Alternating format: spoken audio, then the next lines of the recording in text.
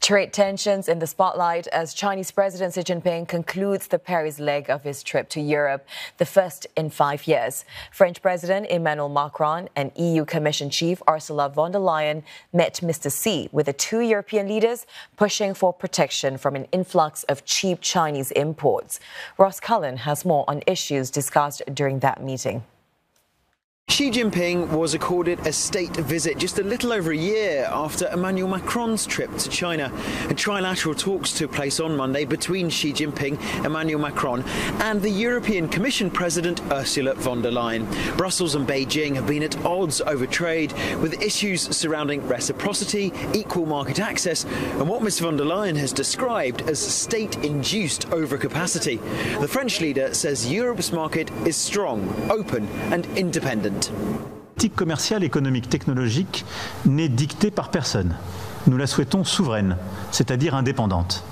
Et nous la souhaitons ouverte, confiante, mais euh, nous voulons être en capacité de protéger nos intérêts.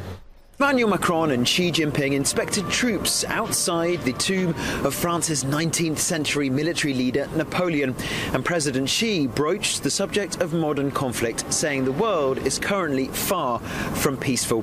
He refused to condemn Russia over Ukraine. China says what is happening is a crisis and not a war. Comme l'histoire n'a cessé de le démontrer, les conflits ne peuvent être réglés que par les négociations.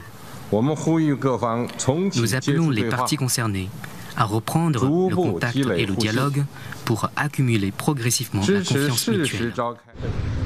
The visit formed part of ongoing celebrations to mark 60 years of diplomatic relations between Paris and Beijing.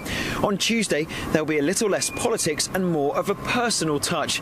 Emmanuel Macron has invited Xi Jinping down to the southern Pyrenees Mountains, where his maternal grandmother was from, someone to whom he was very close and who had a big influence on Mr. Macron when he was growing up. Ross Cullen, CNA, Paris.